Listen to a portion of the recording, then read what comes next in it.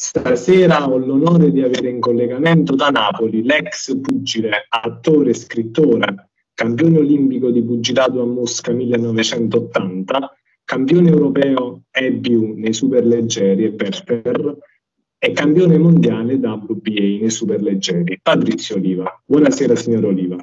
Buongiorno, buonasera, eccomi. Allora, signor Oliva, sono in collegamento con lei proprio per parlare della sua carriera e cominciamo allora, proprio dai allora, che... Cominciamo a dire una cosa, diamoci del tu, lo sportivo si dà del tu, ti ah. autorizza a dare del tu, vai. Ok, allora, cominciamo proprio dai tempi in cui tu eri ragazzino, hai raccontato tante volte in televisione che appunto sei di Poggio Reale, che è un quartiere di Napoli e raccontato che purtroppo tu, come tante persone, provieni da tanti episodi brutti, familiari, economici, ma nonostante ciò hai raggiunto questo grande sogno, ovvero quello del pugilato. Ma in, questi, in quei casi tu dove e come hai trovato la forza per andare avanti e realizzare questo sogno? Ma innanzitutto la passione per questo sport, perché quando c'è passione in ciò che fai non ti costa fatica, perché è una tua scelta, una scelta di vita io mi sono innamorato di questo sport da bambino, fui proprio folgorato dal gesto motorio che i pugili facevano vicino al, al, sacco. Mio fratello Mario, che prima di me faceva il pugile, mi portò in palestra, la sua palestra, e io vedendo i pugili allenarsi vicino al sacco, in palestra, facevano anche sparring, mi sono innamorato letteralmente di questo sport. E capì immediatamente che quella, eh, quello era il mio destino. Io dovevo fare il pugile a tutti i costi.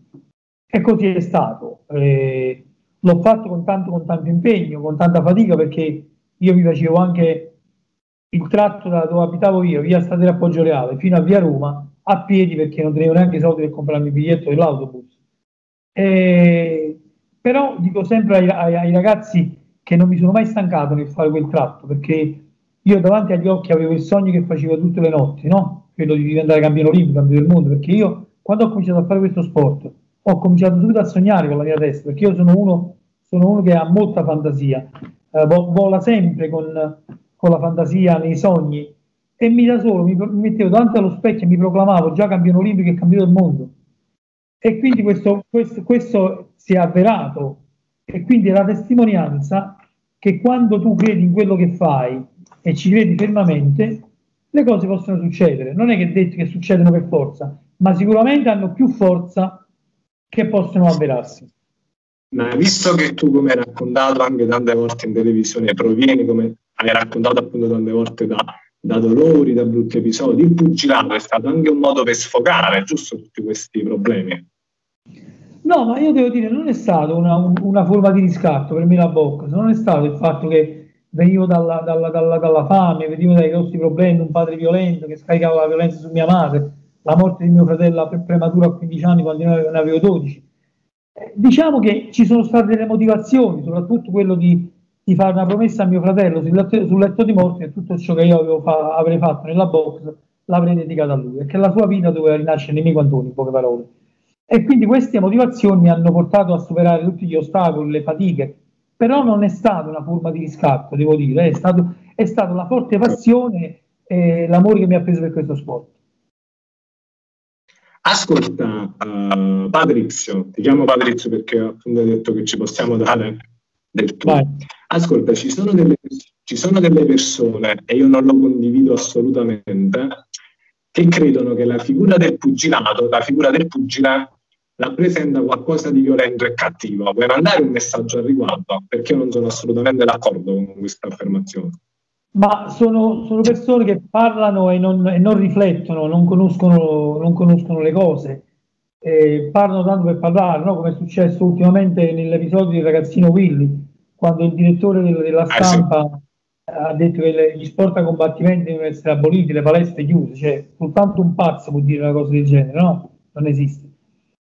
È difficile, quelli sono degli episodi che sono, sono criminali e basta non vengono paragonati, non vengono classificati sportivi, quelli sono dei criminali che vanno in palestra tanto per fare qualcosa, ma non è che sono degli sportivi che fanno, che fanno quell'attività sportiva, perché è difficile vedere un, un atleta da sport a combattimento che litiga per strada, non lo fa mai, io nella mia carriera non ho mai, non ho mai litigato per strada perché sono consapevole che le mie armi diventano del, eh, che le mie, i miei pugni diventano delle armi, sono super consapevole. Proprio per questo ho, per strada non, ho, non litighiamo mai, evitiamo. Io mi sono preso pure vaffanculo, ma, ma non, non, ho mai reagito perché dico, ma, ma chi se ne frega, ma non, non vado a rovinarmi la vita per un, per un imbecille.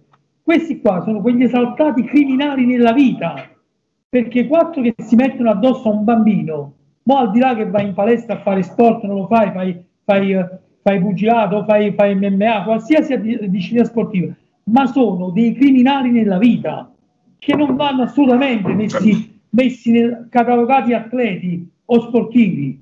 Non esiste al mondo. Quindi sono criminali, stop. Ascolta, uh, piccola curiosità, tu devi sapere che io frequento le scuole superiori a Piedimonte Matesa e io so che tanti anni fa tu ti allenavi a Piedimonte Matesa. Che ricordo hai di quel paese hai avuto modo di ritornarci anche? Guarda, sono ritornato proprio ieri sera.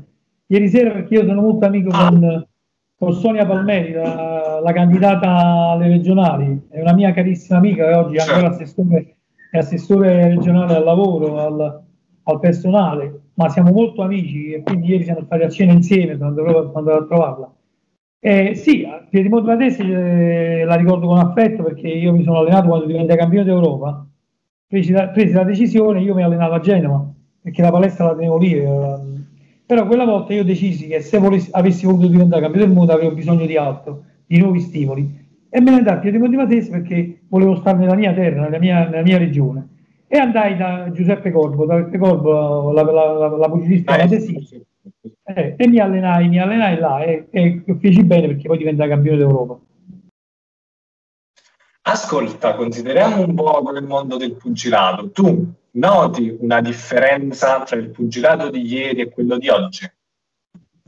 Ma, ma come tutti, tutte le cose c'è evoluzione, no? In qualsiasi attività, sia sportiva che lavorativa, eh, letteraria, ci sono sempre evoluzioni.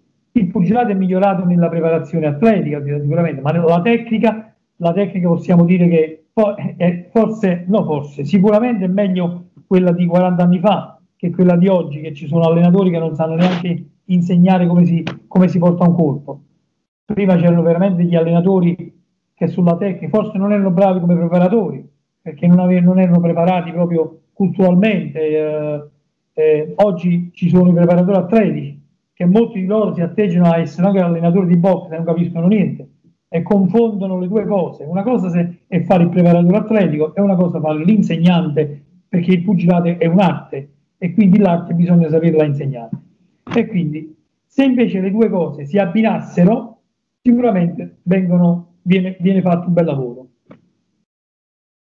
Ascolta, ma qual è stata la prima volta che tu sei salito sul ring? La prima volta proprio, qual è stata? 16 anni avevo. A livello agonistico avevo 16 anni quando ho messo piede sul ring. Però ero già in palestra da tantissimi anni, ma non avevo ancora il fisico formato per poter combattere. E quindi il mio maestro aspettò prima che io maturassi fisicamente. Allora, nella tua carriera sportiva nei dilettanti, tu hai raccontato, questo un episodio molto interessante, che dei campionati europei di pugilato dilettanti 1979 a Colonia ci fu una, uno scandaloso verdetto nei confronti di un tuo avversario che adesso è un tuo grande amico. Con Akbaev. Sì, eh, fu un verdetto scandaloso perché lo, lo dichiarò l'Europa intera, sui giornali europei uscivano, gli articoli sportivi uscivano proprio con lo scandalo di quel combattimento, ma poi anche il pubblico in sala, nel, nel palazzetto, testimoniò eh, la contestazione di quel verdetto, no? buttarono sul ring di tutto, bottiglie di birra, lattine, interruppero l'inno sovietico sul podio eh, per la protesta, quindi la testimonianza la, la diede proprio il pubblico. Però io da, da vero sportivo accettai anche a malincuore quella decisione dei giudici, perché io credo nei valori dello sport. Pensai che i giudici eh, non erano in malafede, avevano sbagliato, e invece poi seppi che purtroppo erano in malafede, si erano venduti proprio il combattimento perché uno, un anno e mezzo dopo ci sarebbero state le Olimpiadi proprio a Mosca. Quindi molti di questi giudici, pur di essere convocati come giudici a Mosca, si vendettero ai giudici, ai, dirigenti sovietici. Io aiuto, tu, io aiuto, tuo, aiuto il tuo pugile e tu mi fai venire come giudice alle Olimpiadi. E così fu. Però poi la giustizia ha sempre il suo corso, no? quindi ci fu una vendetta straordinaria, devo dire, perché in casa sua, in finale proprio ai Giochi Olimpici, davanti al suo pubblico, io lo battii nettamente e vinse la medaglia d'oro. Credo che tu hai anche avuto un problema alla mano destra, giusto? Così. Tutto, tutta la carriera professionistica io ho avuto un problema alla mano. Il primo colpo che portavo la mano si fratturava. Io ho fatto tutta la mia carriera professionistica con la mano sola. E questo la, la usavo quando meno potevo, meno potevo, perché al primo colpo si fratturava, rimanevo con la mano aperta nel guantone e non avevo neanche la forza della tensione di chiudere la mano. La mano. E quindi, però, eh, questo raddoppia ancora È la mia classe. una difficoltà. Eh, però raddoppia ancora di più la mia classe, perché io ho fatto, sono diventato campione d'Europa, campione del mondo con la mano sola. Ascolta, titolo italiano, titolo pe- europeo e titolo mondiale, in quali eventi e contro chi l'hai vinto? Titolo europeo in due categorie di peso, eh. superleggeri e anche welter. Io ho disputato anche il titolo mondiale dei pesi welter, fu l'ultimo incontro della mia carriera per 6 punti come un grandissimo campione e poi fu l'ultimo match della mia carriera. Mi, ritira- mi ritirai che ero ancora, ero ancora campione d'Europa, potevo ancora difendermi il titolo, ma decisi che volevo dire basta. Ascolta Patrizio, tra i tuoi vari premi e riconoscimenti che hai, che hai vinto, anche quello come miglior pugile ai giochi olimpici, giusto? Cosa rappresenta per te questo premio? Eh beh, ma il premio più prestigioso che un pugile possa mai aspirare, perché eh, è il pugile è, è un trofeo che si dà, è una coppa che innanzitutto è gira dal 1936 eh, e la detiene la federazione per quattro anni del pugile che l'ha vinto, che l'ha vinta. Io sono stato proclamato il miglior pugile, è un, trofeo importante perché viene- scelgono il migliore di tutte le categorie. Quindi in quel momento tu vieni giudicato il miglior pugile al mondo di tutte le categorie di peso della box. Capito? Vinto- scegliamo il migliore delle Olimpiadi, chi è stato? E quella volta nell'80 fu Patrizio Lino. Vogliamo parlare di quel giorno in cui tu hai partecipato alle Olimpiadi a Mosca, che era la ventiduesima edizione, e vinto appunto l'oro olimpico, 1980. Eh, quella fu un'Olimpiade, tu sei giovane, però sei, eh, sei un giornalista, quindi la storia la conosci. Quella fu l'Olimpiadi, la prima Olimpiadi del il primo boicottaggio, no? perché ci fu la guerra fredda tra Stati Uniti e Unione Sovietica. Quindi tutti i paesi che ah, mh, erano alleati con, con, eh, gli Stati Uniti non parteciparono a Mosca. Parteciparono tutti i paesi invece alleati alla Russia. L'Italia fece un discorso un po' ambiguo, devo dire. Noi non partecipammo come Italia, partecipammo come CIO. Quindi diciamo la decisione italiana fu quella di non far dispiacere all'America dicendo noi non partecipiamo come Italia, partecipiamo come sotto l'egida del CON internazionali e non fece dispiacere alla Russia dicendo noi partecipiamo, però non possiamo partecipare come Italia, ma ci siamo. E quindi noi partecipammo sotto l'egida del CIO, con la bandiera dei cinque cerchi del CIO. L'inno sul, sul podio non fu l'inno di Mameli, ma fu l'inno internazionale del CIO. Quindi si corse il rischio di non partecipare, perché se l'Italia prendeva la decisione di, di, come tutti i paesi alleati all'America, di non partecipare, non, saremmo, non avremmo mai potuto dire io ho vinto la medaglia d'oro olimpica, non, non l'avrei mai potuto dire. E devo dire però fu un'Olimpiade per me difficilissima, perché? Perché in quel periodo, nel 1980, le, le nazioni più forti al mondo erano l'Unione Sovietica e tutti i paesi comunisti. Quindi l'Unione Sovietica con primis in, testa Cuba. Cuba era il paese, è stato ancora oggi il paese più forte nella box. E quindi parteciparono i paesi più forti all'epoca erano Cuba, Unione Sovietica, Romania, Bulgaria, Polonia, Ungheria, Cecoslovacchia, Jugoslavia. Erano paesi dove tu non ti potevi proprio avvicinare perché? Perché erano i classici di- dilettanti di Stato che avevano 300 incontri, ognuno di loro teneva 300 match sulle spalle e tu ti presentavi con 20, 30, 40 match, non avevi scampo, come è successo a noi ultimamente, no? I nostri russi, Gambarelli, hanno vinto perché sono bravi, ma hanno vinto anche perché avevano una esperienza alle spalle Certo. enorme rispetto ai, raga- ai ragazzini che hanno affrontato. Per dirti, Russo alle Olimpiadi di Pechino affron- o di Londra affrontò Wilder Ma Wilder teneva 18 anni allora e Russo ne aveva, ne aveva 30. Certo. Credo che se oggi dovessero fare un confronto Russo-Wilder non ci sarebbe confronto. Però Russo in quell'occasione lo batteva perché oltre alla sua bravura ma aveva un'esperienza enorme di fronte a Wilder che era un ragazzino. Quindi in quel periodo dell'80 ci, ci comporta, era così la, la, la, situazione. Noi ragazzini ci confrontavamo con Pucci che avevano 300 match e non avevamo scampo. E là abbiamo dimostrato di essere veramente forti perché con pochi match alle spalle riuscivamo ad avere la meglio su questi qua che avevano un'esperienza tripla alla nostra, quadripla alla nostra. Ascolta, ma tu durante la tua carriera pugilistica c'è stata, diciamo, qualche persona che hai avuto sempre come un punto di riferimento per andare avanti e per non arrenderti mai, insomma. C'è stato qualche persona?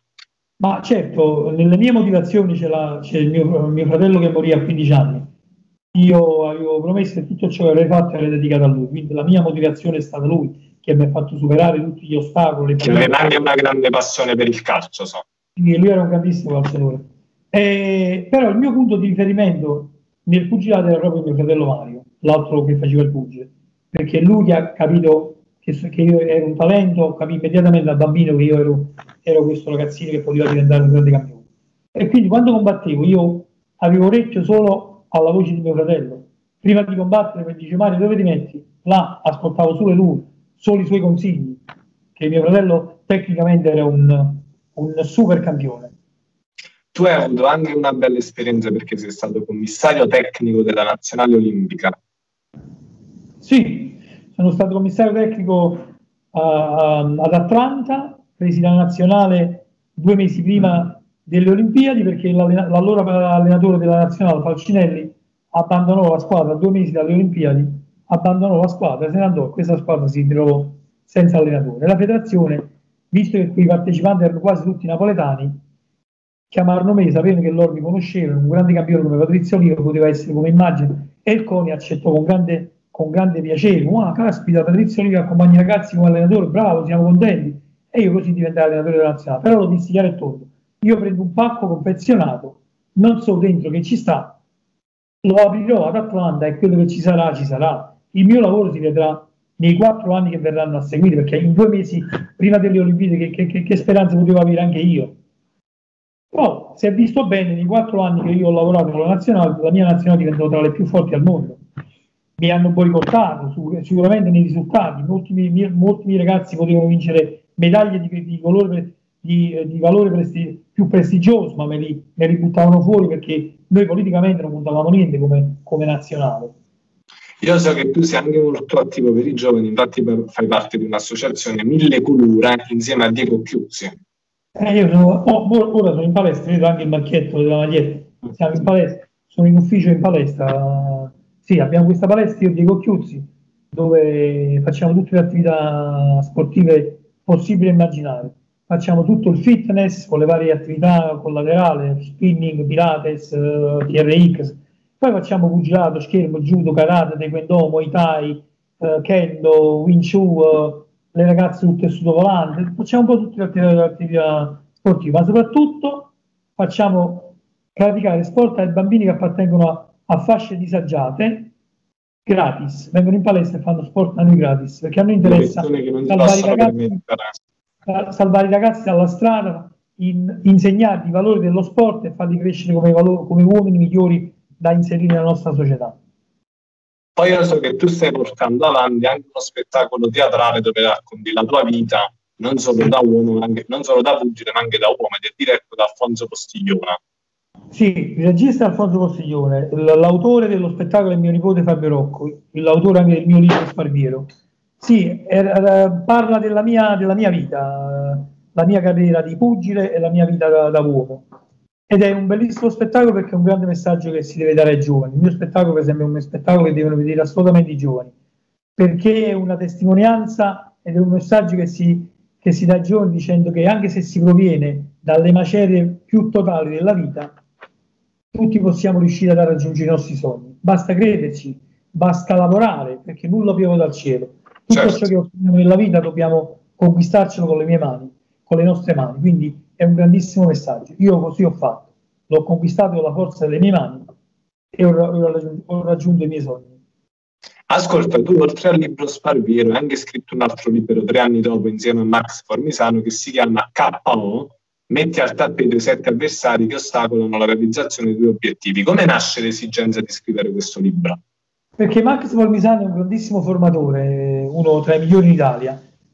Aveva sentito la mia storia, ci siamo, ci siamo incontrati, mi sentì parlare, lui disse Patrizio, perché non facciamo una cosa insieme? Perché non collabori con me? Tu sei un grande motivatore, tu sei veramente straordinario quando parli.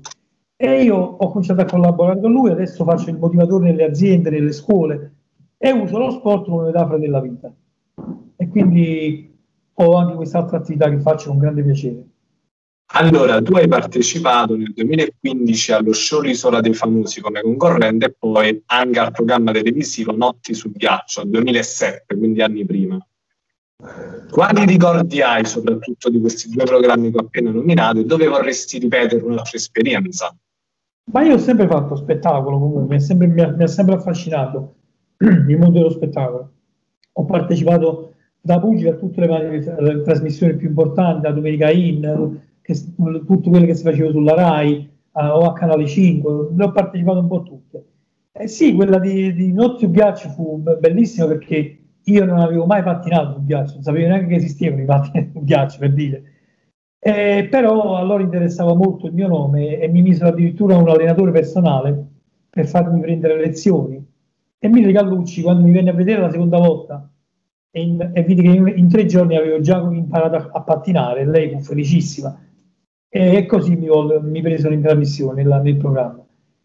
Invece meno, meno, meno entusiasmante è stato l'isola dei famosi, è stato deludente è stato deludente sotto il profilo umano, perché, perché ho incontrato gente che, che pur di, di, avere un po' di notorietà si vendono anche la dignità. No? Io fui tradito in una maniera, anche se una, una trasmissione è un gioco, per l'amor di Dio, però loro dimostrarono proprio di essere assetati di protagonismo, ma ti parlo proprio di, di, di attori o, o, di quel conduttore adesso su Rai 1, eh, come si chiama, l'ex DJ eh, Diaco, Pierluigi Diaco, no? eh, pure sì. lui che sembrava che era mio amico, che grande persona che sei, mi piacerebbe che tu vincessi l'isola, fu il primo a pugnalarmi alle spalle ah. per, farmi, per, farmi, fuori, lui e altri, gli altri due o tre attori, no? si misero contro di me, ma, ma ripeto, io dissi facciamo un'isola che diamo un messaggio ai giovani che si può fare anche uno spettacolo senza essere volgari, no? perché abbiamo visto in passato l'isola sempre volgarità, parolacce, tradimenti. Sì, io dissi facciamo un'isola diamo un messaggio ai giovani che si può fare spettacolo anche con, facendo le persone per bene, pulite. Sì, ci piace questa cosa, quindi votiamo non perché tu mi sei antipatico, ti voto perché non ti reputo idoneo alla sopravvivenza di un gruppo su un'isola, no? Perfetto, decidemmo di votare due persone che si erano proprio estraniate dal gruppo e decidemmo di votarle. Invece loro, quando capirono che io ero un pezzo forte, che mi davano vincitore dell'isola, perché pur proprio anche, uh, lo diceva anche... Uh, Signorini che mi dava come uno dei favoriti per il personaggio vero.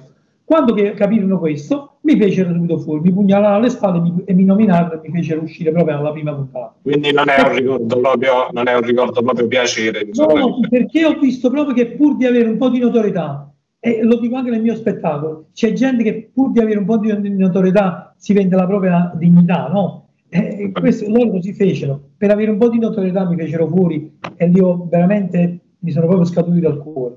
Ascolta, parliamo del Patrizio Oliva, attore e cantante, perché tu so che hai partecipato a vari film come per esempio Il Flauto e anche pubblicato per esempio nell'EP come Resterò qui. Ma tu fin da giovane hai sempre avuto, diciamo, la passione per la musica, la recitazione? Io ho sempre avuto la passione per il canto, ma da bambino. E, e l'ho esternato poi durante la mia carriera uh, da pugile, mi piaceva cantare, però non ho mai pensato di fare il cantante professionista, per l'amor di Dio. Ah. Io lo facevo tutto per per divulgare l'immagine del pugile, che nell'immaginario collettivo il pugile è, è ignorante, è rozzo, è, è, con modi non, non, educati. Io invece volevo dimostrare che il pugile invece è un personaggio come tutti gli altri, può fare spettacolo, che certo. mi dicevano ma tu sei così elegante che non sembri un pugile. Io mi arrabbiavo, perché che volete dire? Che i pugili sono maleducati? Che significa? Eh, però invece l'attore, l'attore è una cosa che mi ha sempre affascinato io ho sempre, quando mi è stato proposto di cominciare a farlo, ho subito pensato che volevo farlo proprio a livello professionale. E sto avendo già i primi risultati perché i critici del, del teatro mi hanno, hanno, hanno, espresso su di me belle, belle considerazioni, devo dire. Ascolta, considerando anche la situazione coronavirus, che come sai ha bloccato un po' tutto, mica puoi mandare un messaggio di speranza, puoi nominare qualche tuo progetto futuro e se vuoi mandare anche un messaggio a tutti i ragazzi e le ragazze che vogliono raggiungere questo sogno, quello del pugilato, che appunto richiede impegno, richiede sacrificio.